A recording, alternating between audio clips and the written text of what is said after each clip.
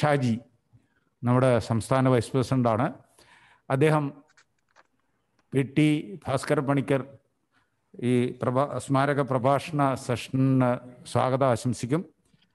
അദ്ദേഹത്തെ അതിനുവേണ്ടി ക്ഷണിക്കുകയാണ്. ഷാജി മാഷേ. താങ്ക് ഡോക്ടർ തലാപ്പിൽ പ്രദീപിനെ ഇൻട്രൊഡ്യൂസ് ചെയ്യുന്നത് പലർക്കും അദ്ദേഹത്തെക്കുറിച്ച് അറിയാവുന്നതാണ്. വാർത്തകളിൽ പലപ്പോഴും നേരത്തെ വന്നിട്ടുണ്ട്. എങ്കിലും പരിചയമില്ലാത്തവർക്ക് വേണ്ടി ഒന്ന് പരിചയപ്പെടുത്താം. അദ്ദേഹം ജനിച്ചത് കേരളത്തിലെ മലപ്പുറം ജില്ലയിൽ ആലങ്കോട് പന്താവൂരിലെ ഒരു ചെറിയ ഗ്രാമത്തിലാണ്. അവിടുത്തെ ഒരു അധ്യാപക ദമ്പതികളുടെ മകനായി ജനിച്ചു. അവിടെയുള്ള സർക്കാർ സ്കൂളിൽ പഠിച്ചു. അതിനുശേഷം തൃശ്ശൂർ സെന്റ് തോമസ് കോളേജിൽ നിന്ന് ഡിഗ്രിയും ഫറൂഖ് കോളേജിൽ നിന്ന് പോസ്റ്റ് ഗ്രാജുവേഷനും നടത്തിയതിനു ശേഷം ബാംഗ്ലൂർ ഇൻസ്റ്റിറ്റ്യൂട്ട് ഓഫ് സയൻസിൽ സി എൻ ആർ റാവുവിന്റെ ലാബിൽ വർക്ക് ചെയ്തു. അവിടുന്ന് പി എച്ച് ഡി നേടി. പിന്നെ പിന്നീട് ബെർക്കലിയിൽ യൂണിവേഴ്സിറ്റി ഓഫ് കാലിഫോർണിയയിൽ അതുപോലെ പർദ്യു യൂണിവേഴ്സിറ്റിയിൽ ഇവിടെ എല്ലാം ഗവേഷണം നടത്തി.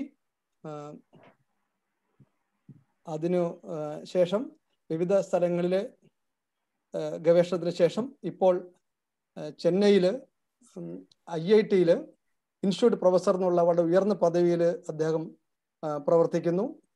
ഐ ഐ ടിയിൽ അപൂർവമായിട്ട് മാത്രമാണ് ഇത്തരം ഇൻസ്റ്റിറ്റ്യൂട്ട് പ്രൊഫസർ എന്നുള്ള പദവി കിട്ടുന്നത്. അങ്ങനെ കിട്ടുന്ന രണ്ടാമത്തെ ആളാണ്. അദ്ദേഹം ധാരാളം അവാർഡുകൾ നേടിയിട്ടുണ്ട്. സയൻസ് രംഗത്ത് കിട്ടാവുന്ന ഇന്ത്യയിൽ കിട്ടാവുന്ന വലിയ ബഹുമതികളായിട്ടുള്ള ഭട്നാഗർ പുരസ്കാരം അതുപോലെ പത്മശ്രീ ഇന്ത്യയിലെ മൂന്ന് അക്കാദമികളുണ്ട്. Indian national science academy national academy of science Indian academy of sciences ഇവരുടെ എല്ലാം പുരസ്കാരങ്ങൾ ലഭിച്ചിട്ടുണ്ട്. ഇതുകൂടാതെ B M Birla science prize J C Bose fellowship ഇതുകൂടാതെ മൂന്നാം ലോക രാജ്യങ്ങളിലെ വലിയ ഗവേഷകർക്കായിട്ട് നൽകുന്ന വലിയ അംഗീകാരമായ തേർഡ് വേൾഡ് അക്കാദമി പുരസ്കാരം ഇത് ലഭിച്ചിട്ടുണ്ട്. ഇത് കൂടാതെ പരിശുദ്ധ പ്രവർത്തകർക്ക് താല്പര്യമുള്ള ഒരു കാര്യമായിരിക്കും അദ്ദേഹം നന്നായിട്ട് മലയാളത്തിലെ ശാസ്ത്ര ലേഖനങ്ങളും പുസ്തകങ്ങളും എഴുതുന്ന ആളാണ്. കുഞ്ഞു കണങ്ങൾക്ക് വസന്തം എന്ന പേരിൽ അദ്ദേഹം എഴുതിയ പുസ്തകത്തിന് കേരള സാഹിത്യ അക്കാദമി വൈജ്ഞാനിക സാഹിത്യത്തിനുള്ള പുരസ്കാരം നൽകിയിട്ടുണ്ട്. അദ്ദേഹം ഏതാണ്ട് അഞ്ഞൂറോളം നാനൂറ്റി എൺപത്തി അഞ്ച് ഗവേഷണ പ്രബന്ധങ്ങൾ അദ്ദേഹത്തിന്റെ ടീം പ്രസിദ്ധീകരിച്ചിട്ടുണ്ട്. എടുത്തു പറയേണ്ട ഒരു കാര്യം നൂറ്റി ഇരുപത് പേറ്റന്റുകൾ അദ്ദേഹത്തിനും ടീമിനുമായിട്ടുണ്ട്. അതിൽ നമുക്ക് വളരെ താല്പര്യമുള്ള വിഷയങ്ങളിൽ ഉദാഹരണത്തിന് ശുദ്ധ ജലം നിർമ്മിക്കുന്നതിന് വേണ്ടി മോശം ജലത്തിൽ നിന്ന് ശുദ്ധജലത്തെ വേർതിരിക്കുന്നതിനുള്ള സാങ്കേതിക വിദ്യ നാട്ടുകാർക്ക് ഏറെ പ്രയോജനപ്പെടുന്ന സാങ്കേതിക വിദ്യ വികസിപ്പിച്ചെടുത്തു. അത് ദശലക്ഷക്കണക്കിന് ആൾക്കാർ ഓരോ ദിവസവും ഉപയോഗിച്ചുകൊണ്ടിരിക്കുന്നുണ്ട്. ഉദാഹരണത്തിന് ആഴ്സനിക് പോലുള്ള കണ്ടാമിനേഷൻ ഉള്ള സ്ഥലങ്ങളുണ്ട്. അവിടെ ശുദ്ധജലം ലഭ്യമാക്കുക എന്നുള്ളത് ഒരു ജീവൻ മരണ പ്രശ്നമാണ്. അതിൽ വലിയ സഹായം നൽകിയിട്ടുണ്ട്. അപ്പോൾ ഇദ്ദേഹത്തിന്റെ ഗവേഷണം നേരിട്ട് സമൂഹത്തിന് പ്രയോജനപ്പെടുന്ന തരത്തിലുള്ളതാണ്. അതുകൊണ്ട് തന്നെ ഇത് പലതും ഇൻഡസ്ട്രിയിൽ വ്യവസായ രംഗത്തേക്ക് ധാരാളമായിട്ട് ഉപയോഗിക്കുന്നുണ്ട്. അദ്ദേഹം തന്നെ ഒന്നിലധികം വ്യവസായ സംരംഭങ്ങളിൽ ഭാഗഭാക്കാണ് കൂടുതൽ നമുക്ക് അദ്ദേഹം സംസാരിക്കും അറിയാം. കേരളത്തിൽ ഗവേഷണം നടത്താൻ താല്പര്യമുള്ള ആളാണ്. പക്ഷേ അതിന് പറ്റിയൊരു ഒരു സന്ദർഭം ഉണ്ടായിട്ടില്ല. എന്തായാലും നമ്മുടെ നാട്ടിൽ പ്രത്യേകിച്ച് നമ്മുടെ സർവകലാശാല നടക്കുന്ന പഠനത്തെക്കുറിച്ചും ഗവേഷണത്തെക്കുറിച്ചും അദ്ദേഹത്തിന് ധാരാളം പറയാനുണ്ട്. അപ്പോൾ അദ്ദേഹത്തിന് ഉള്ള അവസരമാണ് ഇനി ഞാൻ ചുരുക്കുന്നു. നന്ദി. കഴിഞ്ഞു.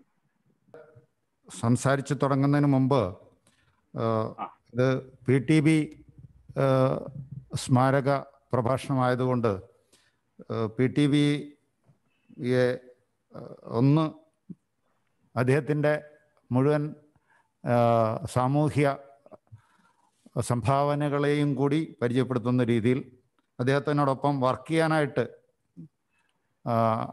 അനുഭവം കിട്ടിയ അവസരം കിട്ടിയ കെ കെ കൃഷ്ണകുമാറിനെ ക്ഷണിക്കുകയാണ്. പ്രിയമുള്ളവരെ വലിയ സന്തോഷമുണ്ട്.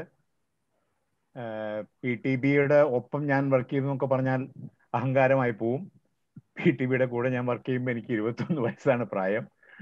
പക്ഷേ ഏറ്റവും അത്ഭുതകരമായ കാര്യം ഓരോ മിനിറ്റിലെന്ന മട്ടിൽ അദ്ദേഹം നമ്മളെ പ്രോത്സാഹിപ്പിക്കുമായിരുന്നു. അത് മറക്കാൻ കഴിയില്ല. പി ടി ബി ഏത് പ്രകാരത്തിലാണ് ചെറുപ്പക്കാരെ പുതിയ ആശയങ്ങളെ പ്രോത്സാഹിപ്പിച്ചിരുന്നത് അനുഭവിച്ചതിനെ അറിയേണ്ട ഒരു കാര്യമാണ്.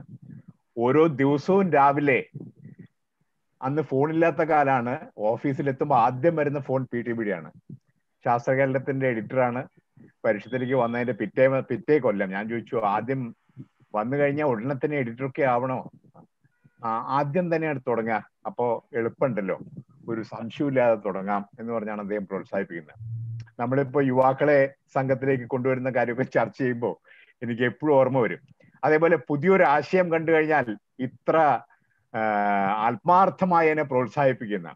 അതിങ്ങനെ കൊച്ച് പിന്നെ ചെറിയ ഗൂഢാലോചന പോലെ പറയും. എടോ അത് കേൾക്കണ്ട അയാൾ പറയണത്. താൻ പറയണതാണ് ശരി ചെയ്തോളൂ എന്ന് വളരെ ശക്തമായി പറയുന്ന ഒരു ആന്റി എസ്റ്റാബ്ലിഷ്മെന്റ് സ്വഭാവമായിരുന്നു പി ടി വിക്ക്. ഏത് സമയത്തും അവസാനം വരെയും. പി ടി വി ചെയ്യാത്ത കാര്യങ്ങളില്ല. ഞാൻ ഒരുപാട് ദീർഘിപ്പിക്കുന്നില്ല. ആയിരത്തി തൊള്ളായിരത്തി ഇരുപത്തിരണ്ടിൽ അടയ്ക്കാപ്പുത്തൂരിലാണ് ജനനം ഡോക്ടർ പ്രദീപിന് വലിയ സന്തോഷം ഉണ്ടാവും അദ്ദേഹത്തിന്റെ ജില്ലയായിരുന്നു അത്. അന്ന് മലപ്പുറം അദ്ദേഹത്തിന്റെ അധ്യാപകരായിട്ടുള്ള അച്ഛനും അമ്മമാർക്ക് തീർച്ചയായിട്ടും പി ടി വിനെ ഓർമ്മയുണ്ടാവും. കാരണം മലബാർ ഡിസ്ട്രിക്ട് ബോർഡിന്റെ പ്രസിഡന്റ് എന്ന നിലയ്ക്ക് മലബാറിലെ വിദ്യാഭ്യാസ സമ്പ്രദായത്തിന് അദ്ദേഹം വരുത്തിയ മാറ്റം ചെറുതൊന്നല്ല. ഒരുപാട് കഥകളുണ്ട് അതിനെക്കുറിച്ച്. പിന്നെ ലോകത്തിലെ തെരഞ്ഞെടുക്കപ്പെടുന്ന ആദ്യത്തെ കമ്മ്യൂണിസ്റ്റ് ആയിരുന്നു പി ടി ബി എന്ന് പറയും. മുപ്പത്തിമൂന്നാമത്തെ വയസ്സിൽ മലബാർ ഡിസ്ട്രിക്ട് ബോർഡിന്റെ പ്രസിഡന്റ് ആവുന്ന സമയത്ത് അദ്ദേഹം നടത്തിയ നടന്ന് നടത്തിയ ഓരോ ഗ്രാമത്തിലേക്കും കാൽനടയായിട്ട് നടന്നാണ് പി ടി വി പോകുന്നത്. പോയിട്ട് അവിടുത്തെ ജനങ്ങളുമായി അദ്ദേഹം നടത്തിയിരുന്ന സമ്പർക്കം ആ സമ്പർക്കമാണ് പരിഷത്തിനെ ഒരു ജനകീയ പ്രസ്ഥാനമാക്കി മാറ്റിയത്. ശാസ്ത്രത്തോട് ശാസ്ത്രജ്ഞരോട് രാഷ്ട്രീയവും രാഷ്ട്രീയക്കാരോട് ശാസ്ത്രവും പറയുന്ന ഒരു പ്രത്യേക മനുഷ്യനായിരുന്നു അദ്ദേഹം. രണ്ടും ഒരേ ആവേശത്തിലും ഒരേ ആധികാരികതയിലും സംസാരിക്കും. സ്റ്റെപ്സിലെ പിന്നെ തിരുവനന്തപുരത്ത് എ ജിസ് ഓഫീസിലെ സ്റ്റെപ്സിന്റെ സ്റ്റെപ്സിന്റെ ഓഫീസ് ഉണ്ടായിരുന്നു എ ജി ഓഫീസിന്റെ എതിരെ. അവിടെ ഇരുന്നുകൊണ്ട് ഒരു ഭാഗത്ത് ഡോക്ടർ മാധവൻ കുട്ടിയെ പോലെ പ്രഗത്ഭനായ ഡോക്ടർ ഉണ്ടാവും മറുഭാഗത്ത് ഡോക്ടർ വാസുദേവനെ പോലെയുള്ള എഞ്ചിനീയർമാരുണ്ടാവും. ഇവരോടൊക്കെ അദ്ദേഹം ഒരു ജനകീയനായിട്ടിരുന്ന് സംസാരിക്കുന്ന കാഴ്ച പലവട്ടം കണ്ടിട്ടുണ്ട്. ശാസ്ത്രത്തോടുള്ള അദ്ദേഹത്തിന്റെ എന്താ പറയാ ശാസ്ത്രത്തിലുള്ള വിശ്വാസം ശാസ്ത്രമില്ലാതെ ഒരു അടി മുന്നോട്ട് പോകാൻ കഴിയില്ലാതെ അദ്ദേഹത്തിന്റെ വിശ്വാസത്തിൽ നിന്നാണ് അമ്പത്തേഴിൽ ശാസ്ത്ര സാഹിത്യ സമിതി ഉണ്ടാവുന്നത്. അതാണ് പിന്നീട് പരിഷത്തായിട്ട് വരുന്നത്. പരിഷ പി ടി ബിയുടെ അനവധി അനവധി കാര്യങ്ങളുണ്ട്. പി ടി ബി പ്രോത്സാഹിപ്പിക്കാത്ത ഒരു മേഖലയില്ല. പരിഷത്തിന്റെ പിന്നെ തുടക്കക്കാരനാണ് യാതൊരു സംശയവുമില്ല. പരിഷത്തിന്റെ സെക്രട്ടറി ആയിരുന്നു പരിഷത്തിന്റെ പ്രസിഡന്റ് ആയിരുന്നു. അതിനേക്കാൾ ഉപരി പരിഷത്തിലേക്ക് ആളുകളെ അസാമാന്യ സംഘടനാ വൈഭവത്തോടു കൂടി കൊണ്ടുവരുന്ന സ്വഭാവം ഉണ്ടായിരുന്നു. പി ടി ബി ഒറ്റ വാക്കിൽ പറയുകയാണെങ്കിൽ അസാധാരണ സംഘാടന ശേഷിയുള്ള ഒരു മനുഷ്യനായിരുന്നു. ഒരാളെ കണ്ടുമുട്ടിയാൽ അയാളുടെ ഏറ്റവും പ്രധാനപ്പെട്ട കഴിവ് എന്താണെന്ന് കണ്ടുപിടിച്ച് അതിലൂടെ അങ്ങ് മുകളിലേക്ക് ഉയർത്തി ഉയർത്തി കൊണ്ടുവരാനുള്ള അസാമാന്യം കഴിവ് കിട്ടിയിട്ടുണ്ടായിരുന്നു. പിന്നെ സമയനിഷ്ഠ ഒരു കാര്യം ചെയ്യാൻ പിന്നെ എന്തെങ്കിലും ഒരു പ്രയാസമുണ്ട് എന്ന് ഒരിക്കലും പീഡിപ്പിക്കുന്നു. അല്ലാണ്ട് തന്നെ വിജ്ഞാന കോശങ്ങളുടെ ഒരു ഒരു നിര തന്നെ അദ്ദേഹം കൊണ്ടുവരുന്നത്. സർവവിജ്ഞാന കോശം വളരെ പെട്ടെന്ന് പ്രസിദ്ധീകരിച്ച് ചരിത്രം സൃഷ്ടിച്ചതും അത് കഴിഞ്ഞ് നാലോ അഞ്ചോ വിജ്ഞാനകോശങ്ങൾ ബാലവിജ്ഞാനകോശം ബാലവിജ്ഞാന കോശം അടക്കം ഉണ്ടാക്കിയതും ഒക്കെ അദ്ദേഹമാണ്. പിന്നെ പരിഷത്തിന് ഇപ്പോഴും അദ്ദേഹത്തിൽ നിന്ന് പഠിക്കാൻ ഒരുപാടുണ്ട്. ഒരു ഭാഗത്ത് ശാസ്ത്രം മറുഭാഗത്ത് ജനം. ഇതിനെ രണ്ടിനെയും പരസ്പരം ബന്ധിപ്പിക്കുക എന്നത് പ്രധാനമെന്ന് പരിഷത്തിനെ പഠിപ്പിച്ചതാണ്. ശാസ്ത്രം മാത്രം പോരാ ജനങ്ങൾ വേണം. ജനങ്ങൾ മാത്രം പോരാ ശാസ്ത്രം വേണം. അത് തമ്മിൽ സമന്വയിപ്പിക്കുന്ന ഒരു വലിയ പാലമായി പരിഷത്ത് മാറണം എന്നതായിരുന്നു അദ്ദേഹത്തിന്. അതുകൊണ്ട് ഭാഷ അദ്ദേഹം എത്രയോ മാസികകൾ എഡിറ്റ് ചെയ്യുമായിരുന്നു പ്രൈമറി ടീച്ചർ അദ്ദേഹത്തിന്റെ ഒരു മാസികയായിരുന്നു. പുസ്തക സമീക്ഷ അദ്ദേഹത്തിന്റെ പിന്നെ മാസികയായിരുന്നു. ശാസ്ത്രഗതിയുടെയും ശാസ്ത്രകേരളത്തിന്റെയും എഡിറ്റർ ആയിരുന്നു അസാമാന്യ സംഘാടകൻ രാഷ്ട്രീയ പ്രവർത്തകൻ കേരളത്തിൽ ഇടതുപക്ഷത്തിന് ഭരിക്കാനാവും. അവർക്ക് സമരം ചെയ്യാൻ മാത്രമേ അറിയൂ എന്നാണ് ഒരു കാലത്ത് ആൾക്കാർ കരുതിയിരുന്നത്. അല്ല അവർക്ക് ഭരിക്കാനാവും എന്ന് ആദ്യമായിട്ട് തെളിയിച്ചത് പി ടി വി ആണെന്ന് എപ്പോഴും പറയും. അതുകൊണ്ടാണ് അത്രേ ഇവരെ ഭരണം ഏൽപ്പിച്ചാൽ കുഴപ്പമൊന്നും ഉണ്ടാവില്ല എന്ന് ജനങ്ങൾക്ക് തോന്നാൻ തുടങ്ങിയത്. പി ടി എ കുറിച്ച് എത്ര പറഞ്ഞാലും അവസാനിക്കില്ല. നൂറോളം ശാസ്ത്ര പുസ്തകങ്ങളുണ്ട്. അദ്ദേഹത്തിന്റെ വകയായിട്ട് കുട്ടികൾക്ക് വേണ്ടിയിട്ടാണ് ഏറ്റവും നന്നായി എഴുതിയിരുന്നത്. ഏറ്റവും അവസാനം വരെ തൊണ്ണൂറ്റിയേഴിൽ അദ്ദേഹം പാലക്കാട് വെച്ച് മരണം അടയുന്നത് വരെ അതിന്റെ അധികം പിന്നെ കുറച്ച് മുമ്പ് കാണാൻ അവസരം കിട്ടിയിരുന്നു.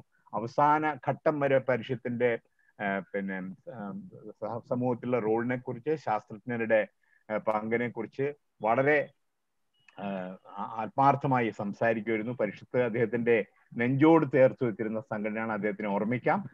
ഡോക്ടർ പ്രദീപിനെ പോലെ പ്രഗത്ഭനായ ഒരു ശാസ്ത്രജ്ഞൻ തന്നെയാണ് ആ കർമ്മം നിർവഹിക്കുന്നത് തീർച്ചയായിട്ടും നമുക്ക് സന്തോഷം തരുന്ന കാര്യമാണ്. ഞാൻ എന്റെ ഒരുപാട് എത്ര സംസാരിച്ചാലും അവസാനിക്കാത്തത് കൊണ്ട് അവസാനിപ്പിച്ചേ പറ്റൂ. അവസാനിപ്പിക്കുകയാണ്. താങ്ക് യു സോ മച്ച് ആ ഔചിത്യപൂർണമായ കുറഞ്ഞ സമയം കൊണ്ട് പി ടി വി പ്രഭാഷണത്തിനായി ഡോക്ടർ പ്രദീപ് കുമാറിനെ ക്ഷണിക്കുകയാണ്. സോറി ഡോക്ടർ പ്രദീപിനെ ക്ഷണിക്കുകയാണ്. ഞാനൊരു ഈ സ്ക്രീൻ ഷെയർ ചെയ്താൽ കുഴപ്പമുണ്ടാവില്ലല്ലോ ഇല്ല ഇല്ല ചെയ്യാം.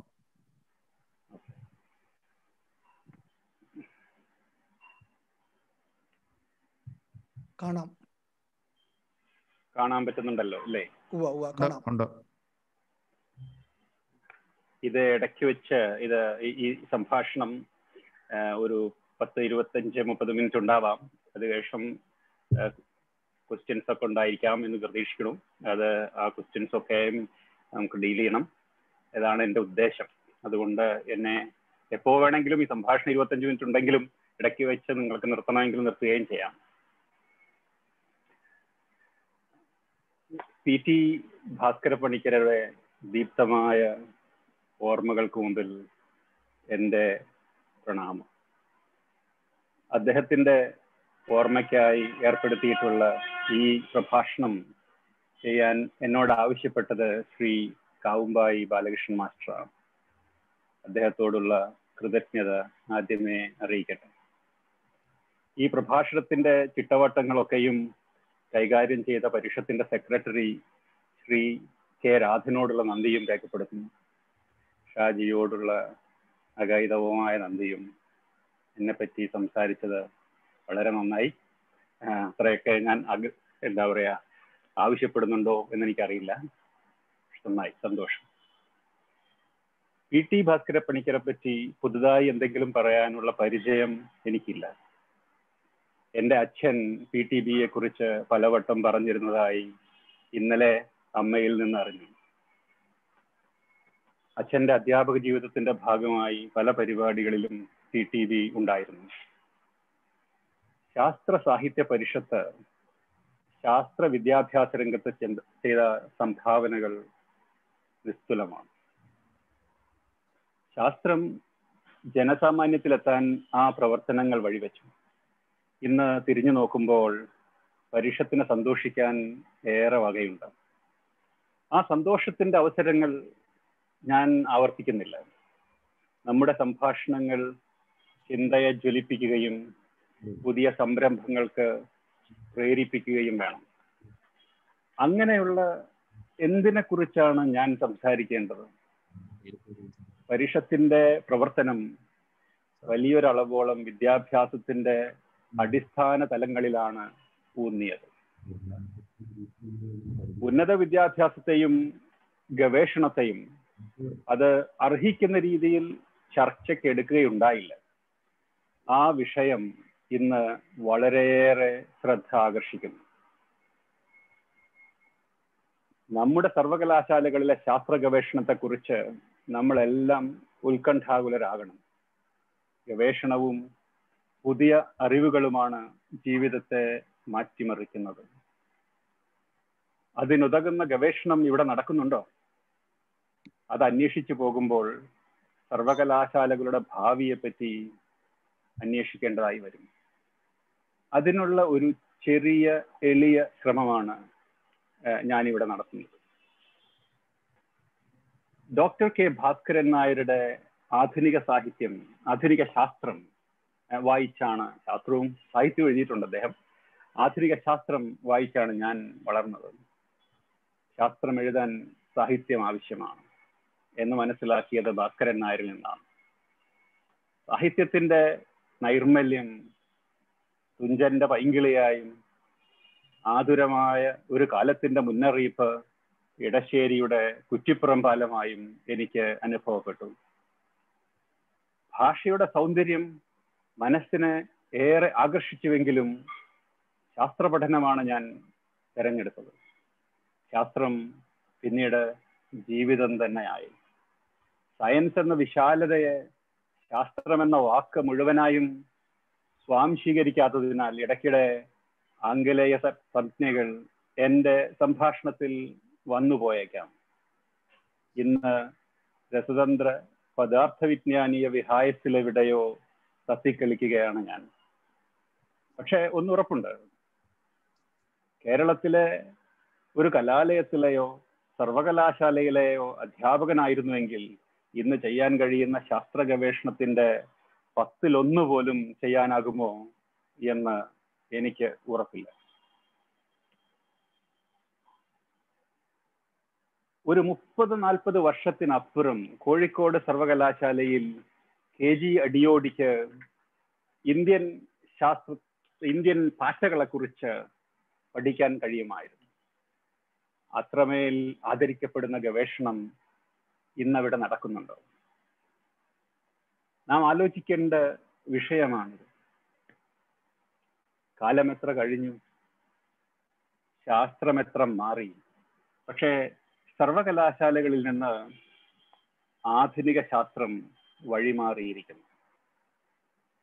ഒരു മിടുമിടുക്കനായ ശാസ്ത്ര വിദ്യാർത്ഥിക്ക് നിർദ്ദേശിക്കാവുന്ന ഗവേഷണ ഗൈഡുകളോ പരീക്ഷണശാലകളോ കേരളത്തിലെ സർവകലാശാലകളിൽ നിന്ന് അപ്രത്യക്ഷമായി കൊണ്ടിരിക്കുകയാണ് ഉന്നതമായ പഠന ശൃംഖങ്ങൾ അസ്തമിക്കുന്നത് ഒരു ഗുരുതരമായ രോഗലക്ഷണമാണ്. സർവകലാശാലകൾ ശാസ്ത്രത്തിന്റെ ഗിരിശൃംഗങ്ങളാകുന്നില്ലെങ്കിൽ ഉപദേശത്തിന് ഒരു ദേശം എവിടേക്കാണ് പോകേണ്ടത്? ശാസ്ത്ര സാഹിത്യ പരിഷത്ത് ഈ ഗുരുതരമായ പ്രശ്നം ജനസാമാന്യത്തിലേക്ക് എത്തിക്കേണ്ടിയിരിക്കുന്നു. സർവകലാശാലകൾ സമൂഹത്തിന്റെ കണ്ണാടികളാണ്. സമൂഹത്തിന്റെ ജയാപജയങ്ങൾ സർവകലാശാലകളിൽ പ്രതിബിംബിക്കുന്നു. അവിടെ നിന്ന് പഠിച്ചിറങ്ങുന്നവർ അധ്യാപക വൃത്തിയിൽ ഏർപ്പെടുന്നു. അവർ സമൂഹത്തെ പുനർനിർമ്മിക്കുന്നു. അതുകൊണ്ടാണ് ശാസ്ത്രം ജനങ്ങളിലേക്ക് എത്തണമെങ്കിൽ സർവകലാശാലകൾ മാറണമെന്ന് പറയുന്നത്. അതിനെന്ത് ചെയ്യാമെന്നാണ് നാം ആലോചിക്കേണ്ടത്? നമ്മുടെ ബിരുദങ്ങളുടെ എണ്ണം വർദ്ധിച്ചു. ബിരുദധാരികളുടെ എണ്ണവും എത്രയോ കൂടി. രസതന്ത്രം തന്നെ എത്രമേൽ വിവിധങ്ങളായി. വിവിധ രസതന്ത്ര വിഷയങ്ങളിൽ നിന്ന് ബിരുദാനന്തര ബിരുദങ്ങൾ നൽകുന്നു. എങ്കിലും അന്താരാഷ്ട്ര തലത്തിൽ അറിയപ്പെടുന്ന രസതന്ത്രജ്ഞർ നമ്മുടെ സർവകലാശാലകളിലുണ്ടോ? അവർ ദേശീയ തലത്തിൽ അറിയപ്പെടുന്നുണ്ടോ? നമ്മുടെ സർവകലാശാലകളിലെ ഗവേഷണം നമുക്ക് തന്നെ അഭിമാനിക്കത്തക്കതാണോ? നമ്മുടെ സംസ്ഥാന സർവകലാശാലകളിൽ ശാസ്ത്രം നശിച്ചുകൊണ്ടിരിക്കുകയാണ് എന്ന് ഞാൻ പറഞ്ഞാൽ അത് ഏറെ തെറ്റായിരിക്കില്ല. എന്തുകൊണ്ടാണ് ഇങ്ങനെ സംഭവിച്ചത്? ശാസ്ത്രം ഒരു വലിയ കൂട്ടായ്മയാണ്. ഒറ്റയ്ക്ക് സംഭവിക്കാവുന്നതല്ല ശാസ്ത്രം. ഇന്ന് പ്രത്യേകിച്ച്. ആധുനിക ശാസ്ത്രത്തിന് വലിയ പരീക്ഷണശാലകളും സാങ്കേതിക ഉപകരണങ്ങളും വലിയ ചെലവുള്ള വസ്തുവകകളും ആവശ്യമാണ്. നീണ്ട വർഷങ്ങളുടെ സബര്യ അതിനാവശ്യമുണ്ട്. ഇതൊക്കെയും നടത്തിക്കൊണ്ടുപോകാൻ വലിയ പടച്ചെലവുണ്ട്. പരീക്ഷണശാലകളിലെ ചില ഉപകരണങ്ങൾക്ക് ദ്രവാവസ്ഥയിലെ ഹീലിയം ആവശ്യമുണ്ട്. അത് വരുന്നത് വിദേശത്തു നിന്നാണ്. വെയിലത്തെ ഹീലിയം ദ്രാവകം ഫ്ലാസ്കിൽ വെച്ചിരുന്നാൽ കസ്റ്റംസ് ക്ലിയറൻസ് രണ്ടു ദിവസം നീണ്ടുപോയാൽ ഹീലിയം ദ്രാവകം ബാക്കിയുണ്ടാകില്ല. ശീതീകരിച്ച് വിദേശത്തു നിന്ന് വരുന്ന പ്രോട്ടീൻ സാമ്പിളുകൾ പരീക്ഷണശാലകളിലേക്ക് എത്തുമ്പോഴേക്കും അവയുടെ വീര്യം മിക്കവാറും നശിച്ചിരിക്കും. ദൂരദേശത്തു നിന്നും സർവകലാശാലകളിൽ എത്തുന്ന വിസിറ്റിംഗ് പ്രൊഫസർക്ക് കരുതി വെച്ചിരുന്ന വിശ്രമമുറി ഏതോ രാഷ്ട്രീയക്കാരൻ പെട്ടെന്ന് കൈവശപ്പെടുത്തിയെന്ന് വരാം. അതിഥിയായ പ്രൊഫസറുടെ യാത്രപ്പടി കിട്ടാൻ രണ്ടു മാസം ഓഫീസുകൾ കറങ്ങി നടക്കണം. അങ്ങനെ അങ്ങനെ നൂലാമാലകളുടെ നിലയില്ലാ കയങ്ങളിൽ പലവട്ടം മുങ്ങി താഴുമ്പോൾ ഗവേഷണ ഗ്രാന്റുകൾ വേണ്ട. എങ്ങനെയെങ്കിലും ഈ ജോലിയൊന്ന് തീർത്ത് പ്രശ്നങ്ങളൊന്നുമില്ലാതെ വിരമിച്ചാൽ മതി എന്ന് പലരും തീരുമാനിക്കുന്നു. സർവകലാശാലകളിൽ നിന്ന് പത്ത് ശതമാനം പ്രൊഫസർമാർ പോലും ഗവേഷണ ഫണ്ടുകൾക്ക് അപേക്ഷിക്കാറില്ല എന്നതാണ് ഇപ്പോഴത്തെ സ്ഥിതി. കാരണം എങ്ങനെയെങ്കിലും അത് കിട്ടിയാൽ നേരാമണ്ണം അത് ചെലവ് ചെയ്യാനും ഓഡിറ്റ് എന്ന കീറാമുട്ടിയിൽ തട്ടാതെ തടി രക്ഷപ്പെടുത്താനും വലിയ മെയ്വഴക്കം ആവശ്യമാണ്. രാഷ്ട്രീയ അതിപ്രസരത്തിൽ എല്ലാം നിരീക്ഷിക്കുന്നത് കൊടിയുടെ നിറം നോക്കിയാണ്. ഇത്തരമൊരു അവസ്ഥയിൽ എങ്ങനെയാണ് ഒരു നല്ല വൈസ് ചാൻസലറോ അദ്ദേഹത്തിന് വേണ്ട രീതിയിൽ നിർദ്ദേശം നൽകാൻ കഴിയുന്ന സിൻഡിക്കേറ്റോ സെനറ്റോ അധ്യാപക വിദ്യാർത്ഥി കൂട്ടായ്മകളോ ഉണ്ടാവുക? ആകാശത്ത് നിന്നും വാർന്നു വീഴുന്നതല്ല ശാസ്ത്രമെന്ന് എന്തുകൊണ്ടാണ് മനസ്സിലാകാത്തത്? മനുഷ്യ ഹിമാലയങ്ങളെ വളർത്തിക്കൊണ്ടുവരാനോ അവരെ കണ്ടാൽ മനസ്സിലാക്കാനോ കഴിയാത്ത സമൂഹമായിരിക്കുന്നു നമ്മൾ. ഇന്ന് തിരിഞ്ഞു നോക്കുമ്പോൾ ട്രാൻസിസ്റ്റർ എന്ന ചെറിയ ഉപകരണത്തിന്റെ മൂല്യം എന്താണെന്ന് നിർണയിക്കുക സാധ്യമാണ്. ട്രാൻസിസ്റ്റർ കൊണ്ടാണ് ഇന്ന് ലോകം ചലിക്കുന്നതെന്ന് പറഞ്ഞാൽ അത് ഒരു വലിയ അതിശയോക്തിയല്ല ആയിരത്തി തൊള്ളായിരത്തി നാൽപ്പത്തി ഏഴിൽ ഉണ്ടായതാണ് ട്രാൻസിസ്റ്റർ. ഇന്ന് എത്രയോ മാറ്റങ്ങൾ ഉണ്ടായി ട്രാൻസിസ്റ്റർ. അപ്പോൾ ട്രാൻസിസ്റ്ററിന്റെ ഉപജ്ഞാതാക്കളെ നാം എങ്ങനെയാണ് കാണേണ്ടത്? എങ്ങനെയാണ് ന്യൂട്ടനെയും ഫാരഡെയും കാണേണ്ടത്? ശാസ്ത്രത്തെയും ശാസ്ത്രജ്ഞരെയും നാം വേണ്ട രീതിയിൽ മനസ്സിലാക്കുന്നില്ല.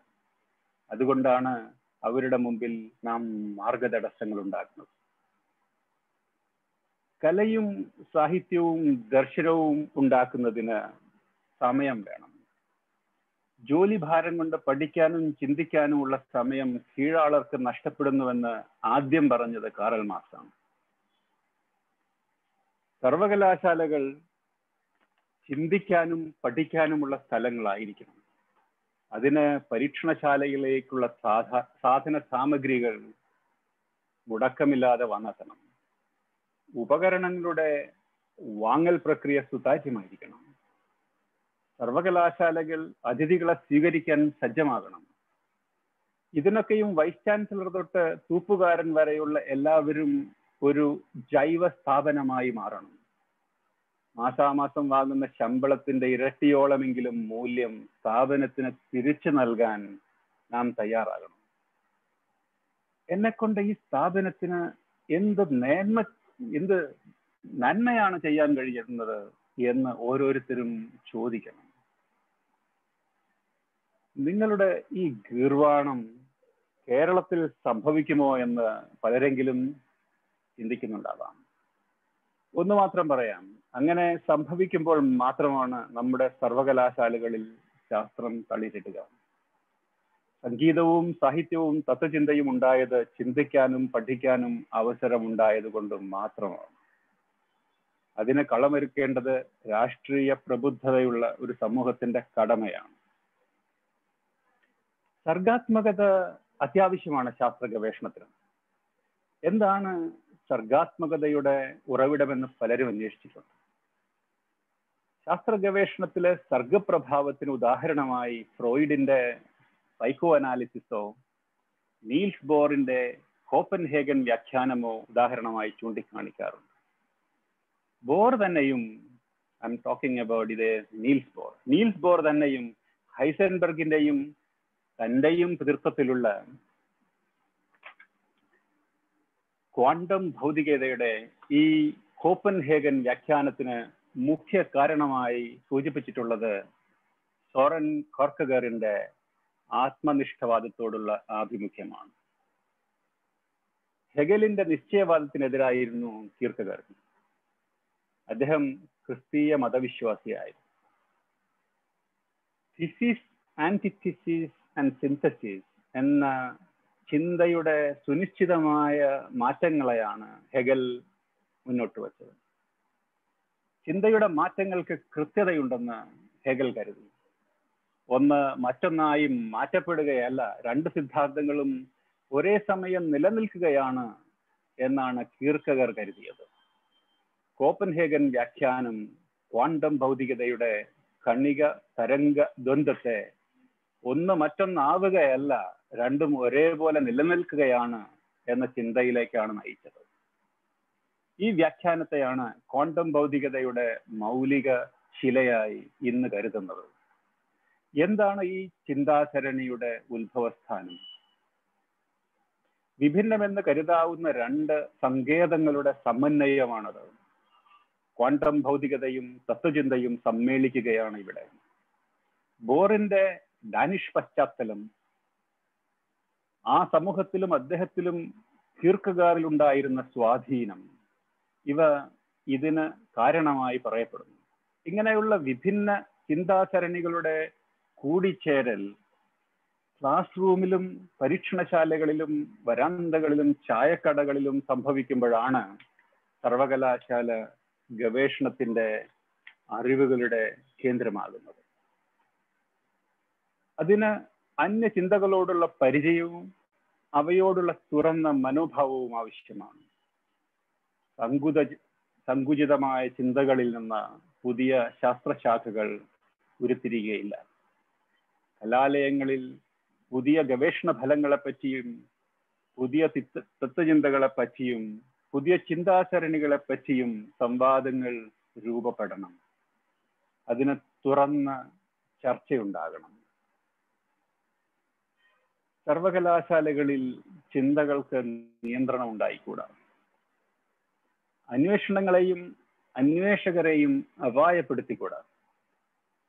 അന്വേഷണങ്ങൾക്കുള്ള അവസരങ്ങൾ നിലനിൽക്കുന്നുണ്ടെങ്കിലും അതിനുള്ള വഴികൾ ദുർഘടം പിടിച്ചതാണ്. ഉദാഹരണത്തിന് ഒരു പുതിയ കണ്ടുപിടുത്തത്തെക്കുറിച്ച് സംസാരിക്കാനായി ഒരു ശാസ്ത്രജ്ഞൻ വരുന്നുവെന്നോ എന്നിരിക്കട്ടെ. അദ്ദേഹം ഒരു സർവകലാശാലയുടെ ഒരു സെമിനാറിനോ ഒരു സംഭാഷണത്തിനോ മാത്രമായല്ല വരുന്നത്. വഴിയിൽ മറ്റ് സ്ഥാപനങ്ങളിൽ പോയെന്ന് വരാം. അദ്ദേഹത്തിന്റെ യാത്ര തന്നെയും ചില മാറ്റങ്ങൾക്ക് വിധേയമാകാം. താമസം ഒന്നോ രണ്ടോ ദിവസം കുറഞ്ഞോ കൂടിയോ പോകാം. ഇതുകൊണ്ടൊക്കെയും യാത്ര ചെലവിൽ മാറ്റങ്ങൾ ഉണ്ടാകാം ഇതെല്ലാം മുന്നിൽ കണ്ട് വൈസ് ചാൻസലറിൽ നിന്ന് അഴിമതി അനുമതി വാങ്ങാൻ കഴിയില്ല. അപ്പോൾ ആ യാത്ര പഠിക്കായി അക്കൗണ്ടിംഗ് വിഭാഗത്തിൽ പലതവണ പോകേണ്ടതായി വരും. യാത്രകളുടെ ഒടുവിൽ എത്രയോ സമയവും മാനവും നഷ്ടപ്പെടുമ്പോൾ ഇനിമേൽ ഒരാളെയും ചിന്താചരണികളുടെ സമന്വയത്തിനായി കൊണ്ടുവരേണ്ടതില്ലെന്ന് ആതിഥേയൻ ഉറപ്പിക്കും. സർവകലാശാലകളുടെ ഉത്തമമായ താല്പര്യങ്ങളെ സഹായിക്കാൻ കഴിയാത്ത ഓഡിറ്റും സ്ഥാപിത താല്പര്യങ്ങളും ഉദ്യോഗസ്ഥരും കൊണ്ട് ശാസ്ത്ര സർഗാത്മകത പേരിൽ മാത്രം ഒതുങ്ങും. ഈ കാരണങ്ങളെ കൊണ്ട് തന്നെ ബഹുഭൂരിപക്ഷം അധ്യാപകരും സ്പോൺസേഡ് റിസർച്ച് ഗ്രാന്റുകൾ സ്വീകരിക്കാൻ മടിക്കുന്നു. സർവകലാശാലകളുടെ ആത്യന്തിക ലക്ഷ്യം സമൂഹത്തിന്റെ ഉന്നമനമാണ്. നിർമായ കർമ്മണാശ്രീ എന്ന് എഴുതുമ്പോൾ നാം ലക്ഷ്യമിടുന്നത് സമൂഹത്തിന്റെ സമഗ്രമായ വികാസമാണ്. എല്ലാ കലാശാലകളും വൈവിധ്യമാർന്ന ആപ്തവാക്യങ്ങളിലൂടെ ലക്ഷ്യമിടുന്നത് ഇത് തന്നെയാണ്. അങ്ങനെയുള്ള സമൂഹത്തിൽ എല്ലാ വിജ്ഞാന ശാഖകൾക്കും ഇടമുണ്ടാകണം. എല്ലാ ചിന്തകളെയും പ്രോത്സാഹിപ്പിക്കണം. വിജ്ഞാനത്തിന്റെ വികസിക്കുന്ന മേഖലകളെ സ്വാംശീകരിക്കാവുന്ന അധ്യാപക വിദ്യാർത്ഥി സമൂഹം അവിടെ ഉണ്ടായിരിക്കണം. ഇതിനൊക്കെ അത്യാവശ്യം വേണ്ടത് സർവകലാശാലകൾക്കുള്ള സ്വയം നിർണയാവകാശമാണ്. അവിടെ പഠനത്തിനാണ് പ്രാമുഖ്യം. പണ്ഡിതനെ ആദരിക്കണം. അറിവിന് മുകളിൽ മറ്റൊന്നിനെയും പറക്കാൻ അനുവദിച്ചുകൂടാ. നാം എവിടെ നിന്നാണ് തുടങ്ങേണ്ടത്? അമേരിക്ക ഇന്ന് ശാസ്ത്ര ലോകത്ത് ഒന്നാമതാണ്. ടെക്നോളജിക്കൽ ജയന്റ് ഭീമൻ എന്ന് പറയേണ്ടി വരും. രണ്ടാം ലോക മഹായുദ്ധത്തിന് ശേഷം അവർ അവരുടെ ശാസ്ത്ര സാങ്കേതിക യന്ത്രം പുതുക്കി പണിതു.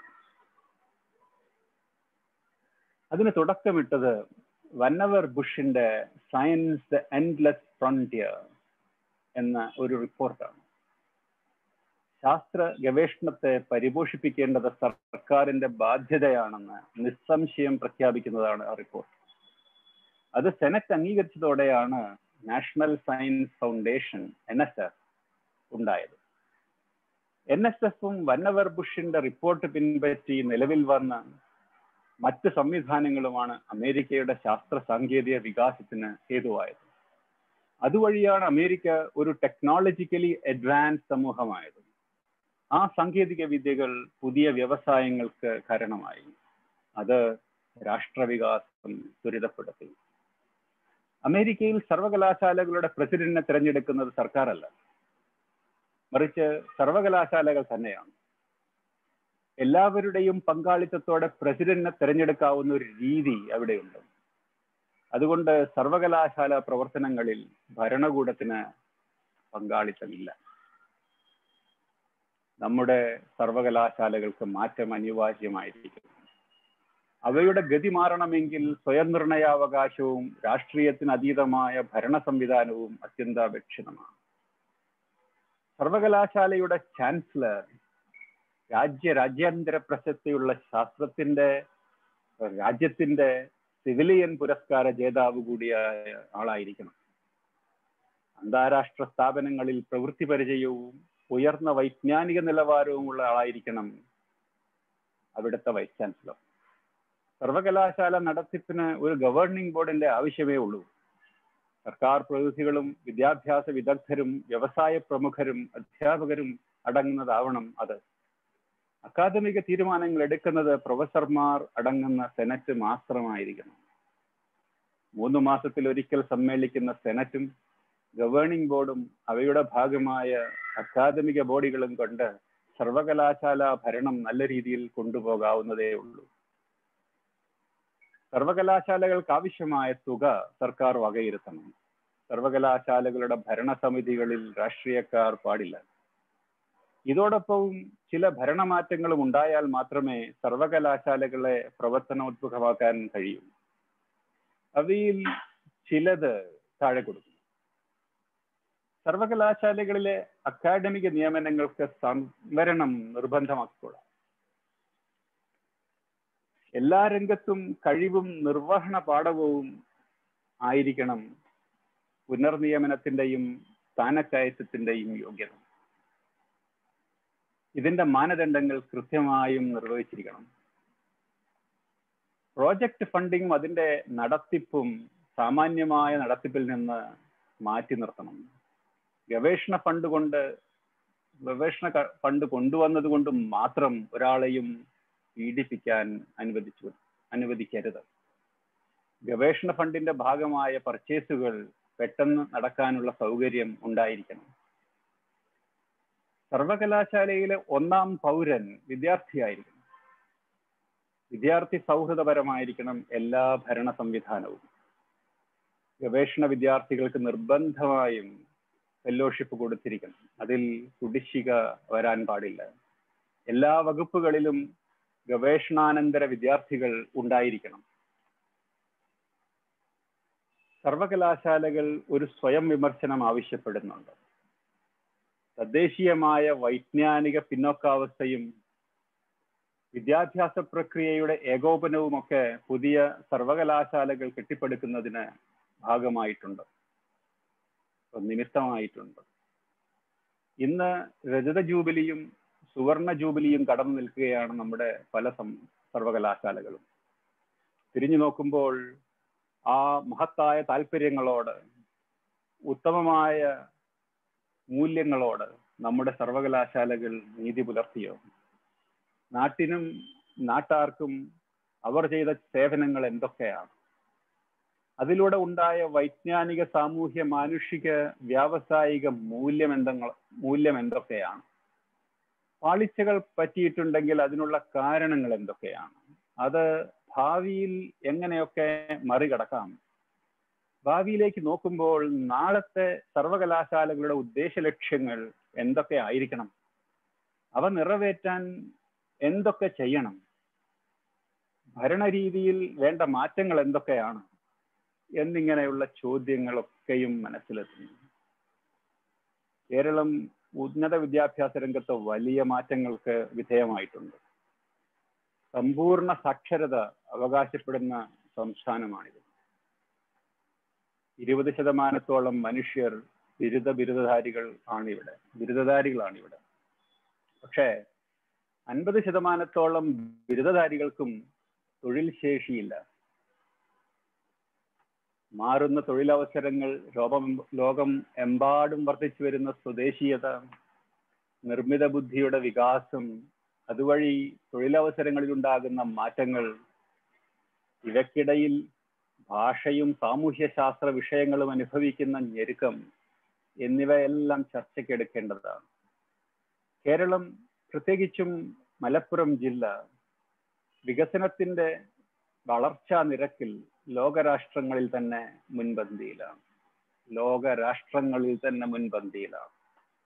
ഇത് കാണിക്കുന്നത് ഇനിയൊരു അൻപത് വർഷത്തിനപ്പുറം കേരളം ഒരു വികസനത്തിന്റെ കുതിച്ചുചാട്ടത്തിന് തന്നെ സാക്ഷ്യം വഹിക്കുമെന്നാണ്. ആ സമൂഹത്തിന് ചേർന്ന സർവകലാശാലകളാണോ നമുക്കുള്ളത്?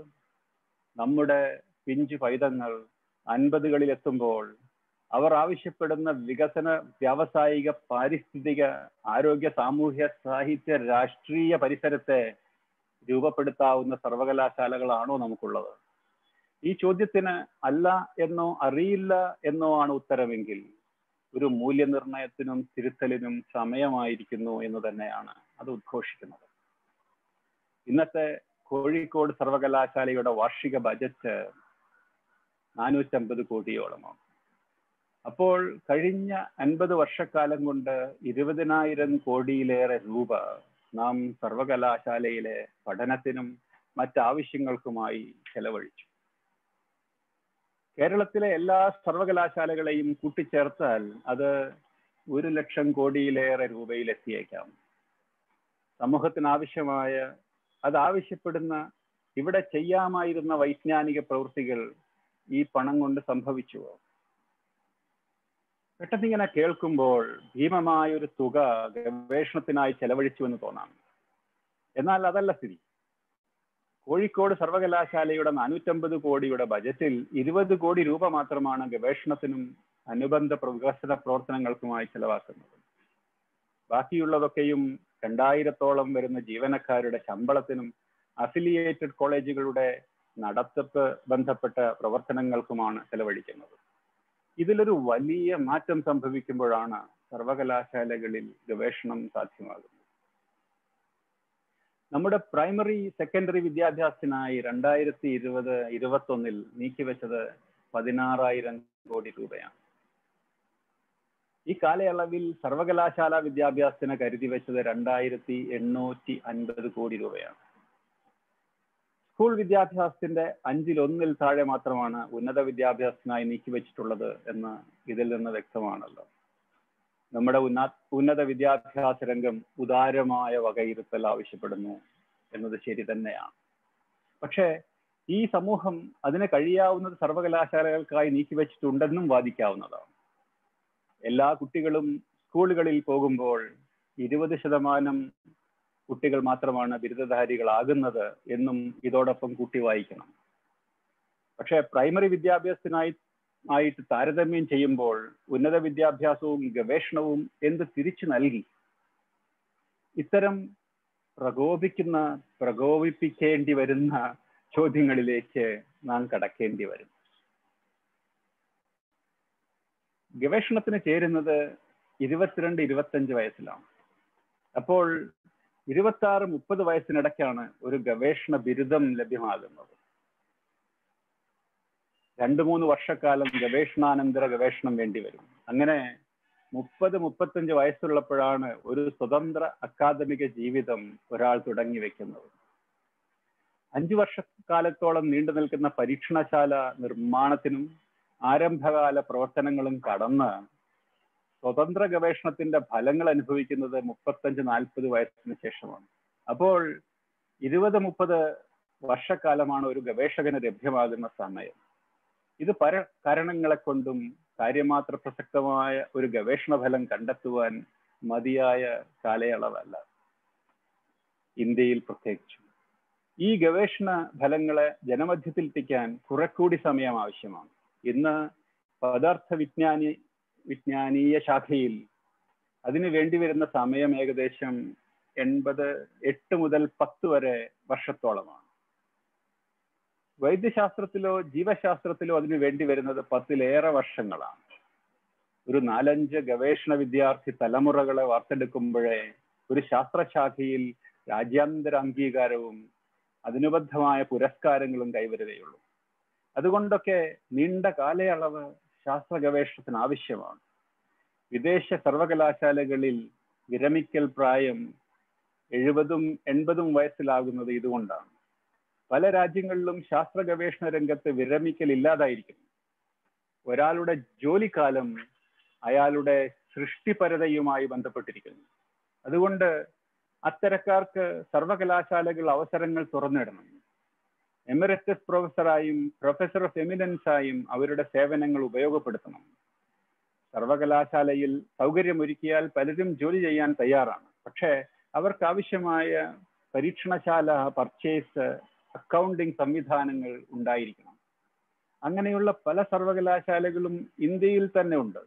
എന്തുകൊണ്ടാണ് നമ്മുടെ സർവകലാശാലകളിൽ പ്രഗത്ഭരായ ശാസ്ത്രജ്ഞരെ എമിററ്റസ് പ്രൊഫസർമാരാക്കാത്തത്?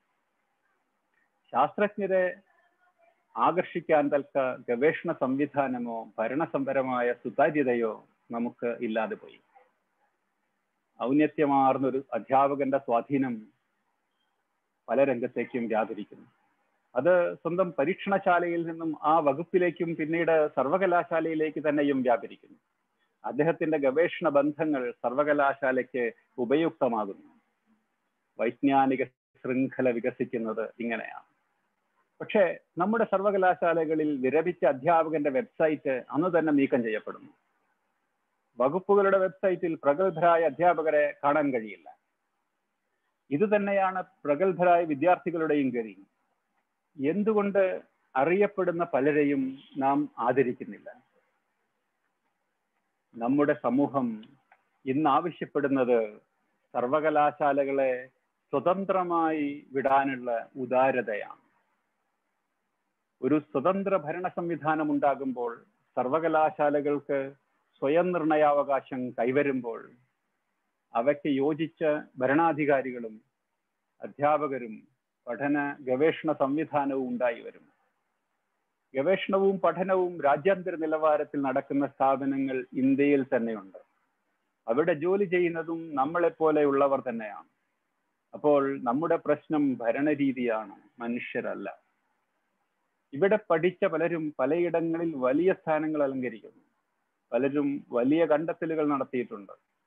പല സ്ഥാപനങ്ങളെയും നിയന്ത്രിക്കുന്നതും അവരാണ്. ഇത് സൂചിപ്പിക്കുന്നത് നമ്മുടെ പഠന രീതിയോ വൈജ്ഞാനിക നിലവാരമോ അല്ല പ്രശ്നഹേതു പക്ഷേ സംവിധാനമാണ്. ഒരേ സ്ഥാപനങ്ങളിൽ നിന്ന് പഠിച്ചിറങ്ങിയവർ ഒരേ ബൗദ്ധിക നിലവാരമുള്ളവർ വിവിധ സ്ഥാപനങ്ങളിൽ ചെന്നുപെടുമ്പോൾ അവരുടെ വൈജ്ഞാനിക ക്രിയാത്മകത വ്യത്യസ്തമാകുന്നത് എന്തുകൊണ്ടാണ്? സ്ഥാപനം വലിയ മാറ്റമാണ് മനുഷ്യരിൽ ഉണ്ടാകുന്നത് സർവകലാശാലകളുടെ ആദ്യത്തെയും അവസാനത്തെയും വിഭവ സ്രോതസ് അതിലെ മനുഷ്യരാണ്.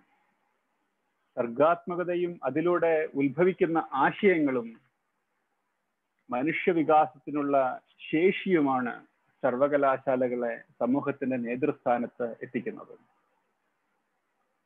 ആധുനിക സമൂഹവും പ്രാചീന സമൂഹവും തമ്മിലുള്ള വ്യത്യാസം നാം കൈവരിച്ച വിജ്ഞാനത്തിന്റെ ശക്തിയാണ്. ആ വിജ്ഞാനം സമൂഹ മാറ്റങ്ങൾക്ക് ചാലക ശക്തിയാകുമ്പോഴാണ് പുരോഗമനം ഉണ്ടാകുന്നത്. വീടും വയലും ആരോഗ്യവും മാനസിക ഉല്ലാസവും അതിന്റെ ഭാഗമായി മാറ്റപ്പെടുന്നു. വിജ്ഞാനം നമ്മളിൽ മാറ്റങ്ങൾ ഉണ്ടാക്കണം അതിനെ ചോദ്യങ്ങൾ ചോദിക്കാൻ നമ്മളെ പ്രാപ്തരാക്കണം. എന്നാൽ മാത്രമേ നിലനിൽക്കുന്ന അന്ധകാരത്തിന്റെ പാതാള കയങ്ങളിൽ നിന്ന് നാം രക്ഷപ്പെടുകയുള്ളൂ. ലോകം കൈപ്പിടിയിലായി. എങ്കിലും ജാതി ജീവിക്കുന്നു. നമ്മുടെ പ്രവൃത്തിയിൽ ഓഫീസുകളിൽ തിരഞ്ഞെടുപ്പിൽ വ്യക്തിഗത തീരുമാനങ്ങളിൽ ജാതി മുഴച്ചു നിൽക്കുന്നു. ജാതിയുടെ ഉത്ഭവം ഞാൻ പഠിച്ചുവെങ്കിലും ആ പഠനം നമ്മിൽ മാറ്റങ്ങൾ ഉണ്ടാക്കിയില്ല. ജനിതക ശാസ്ത്രം ഡി എൻ എയെ കുറിച്ച് പഠിപ്പിച്ചുവെങ്കിലും നാരായണ ഗുരു നമ്മുടെ ജീവിതത്തിൽ ഭാഗമായില്ല. ഇതിനൊക്കെ അടിസ്ഥാനപരമായ കാരണം നമ്മുടെ സ്ഥാപനങ്ങളിൽ ഒന്നിലും ജനാധിപത്യത്തിന്റെ മൂലക്കല്ലായ സമത്വം അലിഞ്ഞു ചേർന്നില്ല എന്നതാണ്. ഉത്കൃഷ്ടത എന്ന മൂല്യം നമുക്ക് വഴികാട്ടിയായില്ല. നാം അത് ഇനിയും തിരിച്ചറിഞ്ഞില്ലെങ്കിൽ കാലമെത്രയായാലും സ്ഥാപനങ്ങളുടെ ജീർണത അവസാനിക്കുകയില്ല. അതിനൊരു ഇത് മാറ്റാൻ ഒരു എളിയ ശ്രമമാണ് ഈ പ്രഭാഷണത്തിലൂടെ ഞാൻ നടത്തിയത്. കെ എസ് എസ് പി ഇത് മുന്നോട്ട് കൊണ്ടുപോകണം എന്ന് വിനീതമായി അഭ്യർത്ഥിക്കുകയാണ്. നമസ്കാരം.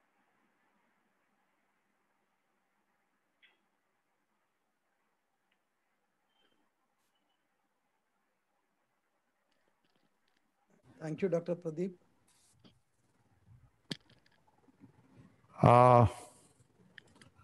doctor Pradeep വളരെ വളരെ സന്തോഷം. ഒരുപക്ഷെ കേരളത്തിന്റെ ബൗദ്ധിക നേതൃത്വത്തിന് ഉൾപ്പെടെ ബൗദ്ധികമായ ഒരു പ്രക്ഷുബ്ധാവസ്ഥയിലേക്ക് നീക്കാൻ സഹായകമായ ഒരു ചിന്തകൾ അവതരിപ്പിച്ചതിൽ. തീർച്ചയായിട്ടും ശാസ്ത്രാഹിത്യ പരിഷത്ത് സംഘടനയ്ക്ക് ഇത്തരത്തിലുള്ള ഒരു ചിന്ത ഉന്നത വിദ്യാഭ്യാസ രംഗത്തുണ്ടാകണമെന്നുള്ള ആഗ്രഹമുണ്ട്. തീർച്ചയായിട്ടും താങ്കളുടെ സഹായം എന്ന് നമ്മൾ പ്രതീക്ഷിക്കുന്നുണ്ട്. നമ്മുടെ സമയത്തിന്റെ പരിമിതി കൊണ്ട് നമുക്ക് ഏതാനും സെലക്ട് ചെയ്തതായ ചോദ്യങ്ങളാണ് ഇപ്പം നമുക്ക് ഈ ഇപ്പോൾ ഈ സമയത്ത് വിശദീകരണത്തിനായിട്ട് ഉപയോഗിക്കാവുന്നത്. താങ്കൾ ചാറ്റ് ബോക്സ് കാണുന്നുണ്ടാവുമെന്ന് വിചാരിക്കുന്നു? കാണാലോ. നിങ്ങൾ പറയുന്നത് പോലെ ചെയ്യാം. അല്ല അപ്പൊ അതിൽ ഇപ്പോ വളരെ പ്രസക്തമായി എന്ന് താങ്കൾക്ക് തോന്നുന്ന കാര്യങ്ങൾ എടുത്തിട്ട് പറയാം. കാരണം ഇവിടുത്തെ ഇവിടുത്തെ സർവകലാശാലയുടെ വേശിയ ഉൾപ്പെടെ ആയിരുന്ന ഡോക്ടർ ഇക്ബാൽ ഉൾപ്പെടെ സീരിയസ് ആയ ചില ചോദ്യങ്ങളൊക്കെ ചോദിച്ചിട്ടുണ്ട്.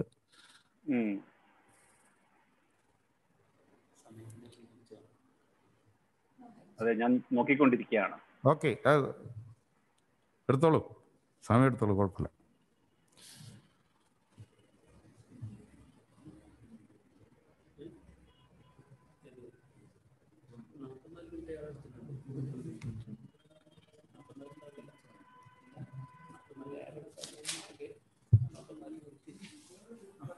എല്ലാവരും പറയുന്നത് ഇത് വളരെ നന്നായി പറയേണ്ട ഒരു കാര്യമാണ്. ഏ, നമ്മൾ ഏറെ ഈ കാര്യത്തെ ഏറെക്കാലമായിട്ട് അഭിസംബോധന ചെയ്യാതിരുന്ന വിഷയമാണ് ഇത് നിർബന്ധമായും ചെയ്തിരിക്കണമെന്നാണ് എല്ലാവരും പറയുന്നത്. വളരെ സന്തോഷം. എല്ലാവരും അങ്ങനെ കരുതുന്നത് വളരെ എനിക്ക് വളരെയധികം സന്തോഷം ഉണ്ടാക്കുന്നുണ്ട് പക്ഷെ എങ്ങനെയാണ് ഇത് ചെയ്യേണ്ടത്? അത് അതേക്കുറിച്ചാണ് നമ്മൾ ഒരു ഒരു ഒരു കൂട്ടായ്മയിലൂടെ തീരുമാനം എടുക്കേണ്ടത്. ഞാൻ പല ക്രിട്ടിക്കൽ സജഷൻസും ഈ പറയുന്ന സമയത്തിന്റെ പരിമിതി മൂലം ഒരു പ്രസംഗത്തിന്റെ ഒരു ഒരു ഒരു ഫ്ലോ ഒഴുക്ക് നന്നായിരിക്കണം എന്നുള്ളത് കൊണ്ട് പലതും ഞാനത് ഇന്ന് വിടുകയാണ് ഉണ്ടായത്. അതുകൊണ്ട് ഒരു ക്രിട്ടിക്കൽ ആയിട്ടുള്ള കുറെ സജഷൻസ് ഉണ്ടാക്കിയേ പറ്റൂ. അതിന് നമ്മൾക്ക് എല്ലാവരും പല രീതിയിൽ പരിശ്രമിക്കാവുന്നതാണ്.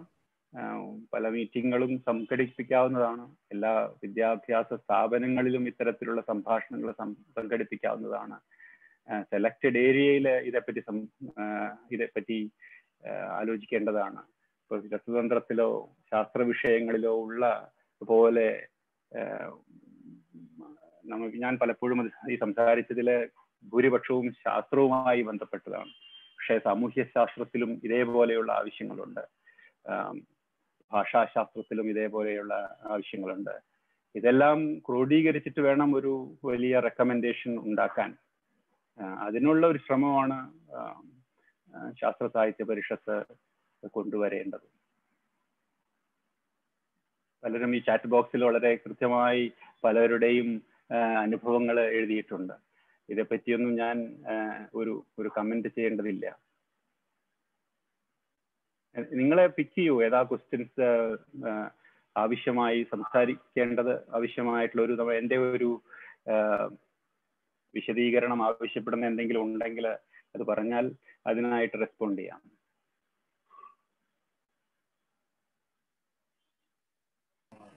ഷാജി മാഷേ അതൊന്ന് സെലക്ട് ചെയ്ത് കൊടുക്കോ?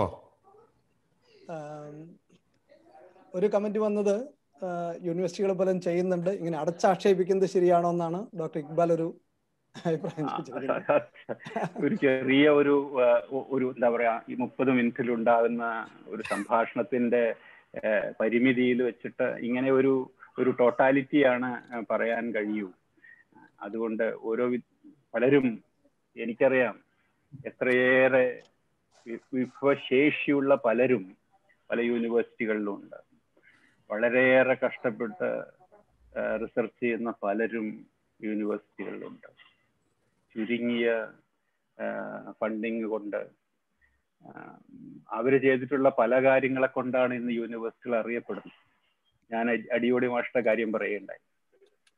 അതുപോലെ അടിയോടിയോളം പ്രശസ്തിയുള്ള പലരും ഇന്ന് യൂണിവേഴ്സിറ്റികളിലുണ്ട് പക്ഷെ നമ്മൾക്ക് വേണ്ടത് കഴിഞ്ഞ അൻപത് വർഷക്കാലം കൊണ്ട് ഒരു അടിയോടിയെ ഉണ്ടാക്കുകയല്ല. നമുക്ക് വേണ്ടത് നൂറുകണക്കിന് അടിയോടിമാരുണ്ടാവേണ്ടതായിരുന്നു. അതുകൊണ്ടാണ് ഞാൻ ഇങ്ങനെ ഒരു വലിയ ഒരു കാൻവാസിൽ ഇത് പ്രസന്റ് ചെയ്തത്.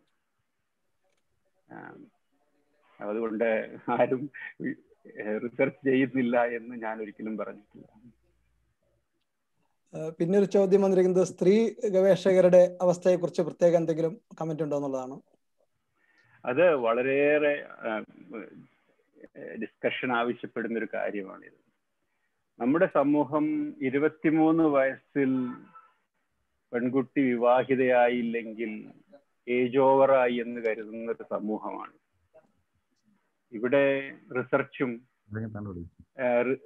പോസ്റ്റ് ഗ്രാജുവേറ്റ് റിസർച്ചിന് ശേഷമുള്ള ഗവേഷണാനന്തര ഗവേഷണവും ഒക്കെ ചെയ്ത് അധ്യാപക ഗവേഷണ വൃത്തിയിൽ ഏർപ്പെടുന്ന ഒരു ഒരു ശാസ്ത്ര കുതുകിയായ ഒരു യുവതിക്ക് പറ്റുന്ന തരത്തിലുള്ള ഒരു സാമൂഹ്യ സാഹചര്യം കേരളത്തിലുണ്ടോ? ഇത് നമ്മൾ പലരും നമ്മുടെ കുടുംബത്തിൽ നമ്മൾ മാറ്റം വരുത്തേണ്ട കാര്യങ്ങളാണ്. ഇപ്പോ ഇന്ന് പലരും കേരളത്തിൽ നിന്ന് റിസർച്ചിനായിട്ട് പല സ്ഥലങ്ങളിലും വരുന്നുണ്ട്. പക്ഷെ ഇരുപത്തേഴ് ഇരുപത്തെട്ട് വയസ്സിലാണ് അവരുടെ പി എച്ച് ഡി ഒക്കെ അവസാനിക്കുന്നത്. അപ്പൊ പിന്നെ അതിനനുസരിച്ച് ഉള്ള ആൺകുട്ടികളുടെ അഭാവം അങ്ങനെയൊക്കെയുള്ള പല കാര്യങ്ങളും ഉണ്ട് സമൂഹത്തിൽ ഇങ്ങനെ ഇതൊരു കാര്യം. രണ്ടാമത്തെ കാര്യം എന്ന് പറയുന്നത് കേരളീയ സമൂഹം ഇന്നും എന്താ പറയാ ഇന്നും സാമ്പാറും ചോറും വെച്ചിട്ട് അടുക്കള ചക്കികളാക്കി മാറ്റുന്ന ഒരു സമൂഹമാണ് ഇന്നും ഉള്ളത് പലയിടങ്ങളിലും. ഇതും അടച്ചാക്ഷേപിക്കുകയല്ല കേട്ടോ. ഡോക്ടർ ഇക്ബാലിനോട് എനിക്ക് പറയാനുള്ളത് അതാണ്. ഇത് അടച്ചാക്ഷേപിക്കുകയല്ല. ഇതൊക്കെയാണ് പൊതുവേ ഉള്ള കാര്യങ്ങൾ. ഇത് ഓരോ കുട്ടിയും നമ്മളോട് വന്ന് പറയുന്ന കാര്യമാണ് നമ്മുടെ നേരിട്ടുള്ള അനുഭവമാണ്. ഞാൻ ഈ തുറന്നു പറച്ചിലിന്റെ ആവശ്യം എന്ന് പറയുന്നത് ഇതൊക്കെ പറയേണ്ടതാണ്. എങ്കിൽ മാത്രമേ കുട്ടികൾ ഇന്നും തൊണ്ണൂറ് ശതമാനം സയൻസ് ചെയ്യുന്ന കുട്ടികളും ബി എസ് സിക്കും എം എസ് സിക്കും ഒക്കെ ചെയ്യുന്നവര് പെൺകുട്ടികളാണ്. അവർക്കുള്ള ഓപ്പർച്യൂണിറ്റീസ് നമ്മൾ ഉണ്ടാക്കിയേ പറ്റൂ. നാളെ ഇവരൊക്കെയും സ്കൂൾ ടീച്ചറായി മാറുമ സ്കൂൾ ടീച്ചർമാരായി മാത്രം മാറണമെന്നാണോ നമ്മൾ പറയുന്നത്? ഇതിലൊരു പത്ത് ശതമാനം ആൾക്കാരെങ്കിലും റിസർച്ച് ചെയ്യേണ്ടതല്ലേ? ഇരുപത് ശതമാനം ആൾക്കാരെങ്കിലും റിസർച്ച് ചെയ്യേണ്ടതല്ലേ? ഒരു പലരും കോളേജുകളിലും യൂണിവേഴ്സിറ്റികളിലും റിസർച്ച് ഗൈഡായി ആവേണ്ടവരല്ലേ? അപ്പൊ അതിനുള്ള ഓപ്പർച്യൂണിറ്റി നമ്മൾ ഉണ്ടാക്കണമെങ്കിൽ സമൂഹം മാറണം.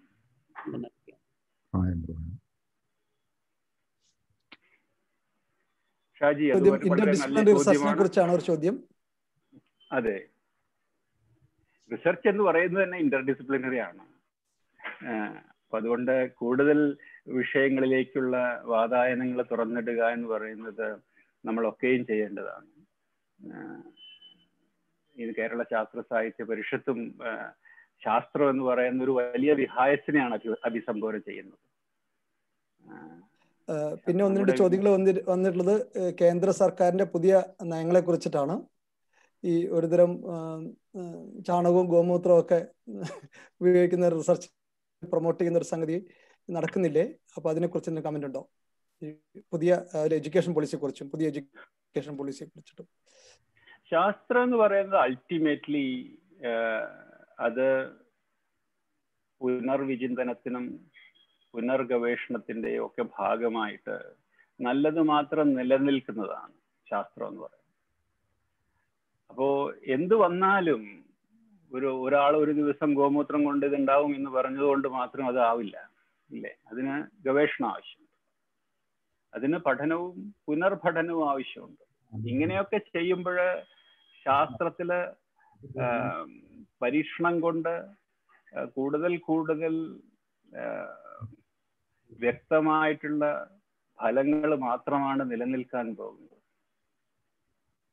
അപ്പൊ അതുകൊണ്ട് ഇത് ഈ ചാണകവും ഗോമൂത്രവും മാത്രമല്ല ഗവേഷണം അല്ലേ? മറ്റു പലതിലും നടക്കുന്നുണ്ട്. അങ്ങനെ ആയിരക്കണക്കിനായ വിഷയങ്ങളിൽ ഗവേഷണം നടക്കുന്നുണ്ട് ഒന്നോ രണ്ടോ ഇത്തരം വിഷയങ്ങളിലും ഗവേഷണം നടക്കുന്നുണ്ട്. ഇത് അവസാനം ഇല്ലാതെയാവും എന്നാണ് എനിക്ക് പറയാനുള്ളത്. അത് അതിന് മെറിറ്റ് ഉണ്ടെന്ന് വെച്ചാൽ അത് നിലനിൽക്കുകയും ശാസ്ത്രം അങ്ങനെയാണല്ലോ. അപ്പൊ അതിന്റെ ഓപ്പൺനെസ് നമ്മൾ ഓപ്പൺനെസ് ഉണ്ടായിരിക്കണം. പക്ഷെ അതിനെ നമുക്ക് ആലോചിക്കാം. ഈ ആയിരം വിഷയങ്ങൾ ഗവേഷണം ചെയ്യുമ്പോൾ ഒന്നോ രണ്ടോ ഇത്തരം വിഷയങ്ങളിൽ ഗവേഷണം ചെയ്യേണ്ടതുണ്ടോ? എന്ന് നമുക്ക് ചോദിക്കാവുന്നതാണ്. അതിനും ഒരു ക്രിട്ടിക്കൽ ഇവാലുവേഷൻ നടത്തിയിട്ടാണ് പലപ്പോഴും ഈ ഫണ്ടിങ് ഒക്കെ നടക്ക് നടക്കുന്നത്. കൂടുതൽ ഇത്തരം ഇവാലുവേഷൻസ് നടക്കണം. എങ്കിൽ പല തെറ്റായ അബദ്ധധാരണകൾക്കും ഫണ്ടിങ് ഉണ്ടാവില്ല. എന്നും കൂടി കാണാവുന്നതാണ്. ഞാൻ ഇത്രയേ പറയുന്നുള്ളൂ. ഇവിടെ പല വിധത്തിലുള്ള ക്ലെയിമുകളുണ്ട്. ഇവിടെ ചാത്തിനും എന്താ പറയാ പലതരത്തിലുള്ള മൂലയിൽ വെച്ചിട്ടുള്ള പല വിഗ്രഹങ്ങളും ഇവിടെ വലിയ അമ്പലങ്ങളും വലിയ ദൈവങ്ങളും ഒക്കെ അതിന്റെ ഭാഗമായിട്ടുണ്ടായിട്ടുണ്ട്. ഒരു വലിയ സമൂഹത്തിൽ ഇത്രയും ഇന്ത്യ പോലെയുള്ള വളരെ ഡൈവേഴ്സ് ആയിട്ടുള്ള ഒരു സമൂഹത്തിൽ ഇങ്ങനെ പലതും ഉണ്ട്. അങ്ങനെ പലതും ഇപ്പോഴും നിലനിൽക്കുന്നു. പക്ഷേ കാലക്രമേണ ഇതൊക്കെയും മാറിപ്പോകണം. മാറിപ്പോയിക്കൊണ്ടിരിക്കുകയാണ്. ഇപ്പോൾ കുറച്ചൊന്നോ രണ്ടോ ഇത്തരം കാര്യങ്ങളുണ്ട് എന്ന് വെച്ച് നമ്മൾ അതേപ്പറ്റി വലിയ ഇന്ത്യയുടെ ശാസ്ത്ര ഗവേഷണ രംഗത്തുള്ള ഉയർച്ചയെക്കുറിച്ച് നമുക്ക് ശങ്കിക്കേണ്ടതില്ല. ഇന്ത്യ മാറുകയാണ് മാറിക്കൊണ്ടിരിക്കുകയാണ്. ഇങ്ങനെ പല കാര്യങ്ങളും നാളെ ഇല്ലാതെ ആവും എന്ന് തന്നെയാണ് എനിക്ക് പ്രതീക്ഷ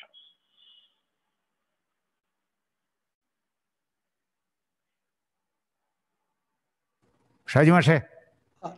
ഇനി വന്നിട്ടുള്ള അധികം ചോദ്യങ്ങളല്ല. ഈ ഡിസ്കഷൻ കമന്റുകളാണ്.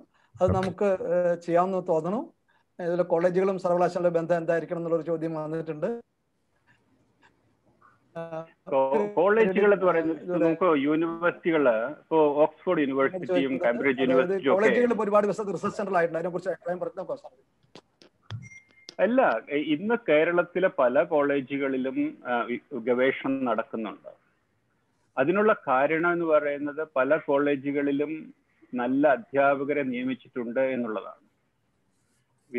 ഗവേഷണവും ഗവേഷണാനന്തര ഗവേഷണവും ഒക്കെ കഴിഞ്ഞിട്ടുള്ള പലരും കോളേജുകളിൽ അധ്യാപകരായിട്ട് വന്നിട്ടുണ്ട്. അവർക്കിന്ന് ഫണ്ടിങ് കിട്ടാനുള്ള വഴിയുമുണ്ട് യൂണിവേഴ്സിറ്റി കോളേജുകളിലെ പല കോളേജുകളിലും അതിനുള്ള സൗകര്യങ്ങൾ ഒരുക്കിയിട്ടുണ്ട്. സ്ഥലവും പരീക്ഷണശാലകളും ഒക്കെ ഒരുക്കിയിട്ടുണ്ട്. ഇതൊക്കെ ഞാൻ കാണുന്നുണ്ട്. അതുകൊണ്ട് സ്വയം നിർണയാവകാശമുള്ള പല കോളേജുകളിലും ഇന്ന് കാര്യങ്ങൾ നടക്കുന്നുണ്ട്. നല്ല രീതിയിലാണ് നടക്കുന്നത്. കൂടുതൽ മാറ്റപ്പെടേണ്ടതുണ്ട്. ഇതിനുള്ള പ്രധാനമായൊരു കാരണം സ്വയം നിർണയാവകാശമാണ് ക്വാളിറ്റിയാണ്. മനുഷ്യർ വന്നിട്ടുള്ള മനുഷ്യരുടെ ക്വാളിറ്റിയാണ്. ഈ ക്വാളിറ്റി നമ്മൾ എല്ലായിടത്തേക്കും വ്യാപിപ്പിക്കുകയാണെങ്കിൽ കോളേജുകളിലുള്ള വിവർ റിസർച്ചും യൂണിവേഴ്സിറ്റികളിലുള്ള റിസർച്ചും നല്ല രീതിയിൽ മുന്നോട്ട് പോകുമെന്ന് തന്നെയാണ് നമ്മൾ കാണുന്നത്. അപ്പൊ നമ്മൾ ഈ ലെസൺസ് നമ്മൾ കൃത്യമായിട്ടും പഠിക്കുന്നില്ല എന്നുള്ളതാണ് ഇതിനുള്ള ഇതിനുള്ള സിഗ്നേച്ചേഴ്സ് ഇതിനുള്ള ഇങ്ങനെയൊക്കെയുള്ള മാറ്റങ്ങൾ നടക്കുന്നു എന്ന് സമൂഹം തന്നെ ഈ കോളേജുകൾ തന്നെ നമ്മളോട് പറയുന്നുണ്ട്. എവിടെയാണ് സ്വയം നിർണയാവകാശമുള്ളത്? എവിടെ നല്ല അധ്യാപകരെ തിരഞ്ഞെടുത്തിട്ടുണ്ടോ? എവിടെ സ്ഥലവും സൗകര്യങ്ങളും കൊടുത്തിട്ടുണ്ടോ? അവിടെയൊക്കെ ഗവേഷണവും നടക്കുന്നുണ്ട്. അതുകൊണ്ട് ഇത് കൂടുതൽ കൂടുതൽ ഇങ്ങനെ ചെയ്യേണ്ടിയിരിക്കുന്നു എന്ന് കേരളം മനസ്സിലാക്കണം. ഇന്ന് എന്താ പറയാ ഇന്ന് പല യൂണിവേഴ്സിറ്റികളിൽ കൂടെ പൈസ കൊടുത്തിട്ടാണ് എന്താ പറയാ ജോലി കിട്ടുന്നത്. കേരളത്തിലെ കാര്യമല്ല ഞാൻ പറയുന്നത്. അപ്പൊ പിന്നെ എങ്ങനെയാണ് ഗവേഷണം നടക്കുക?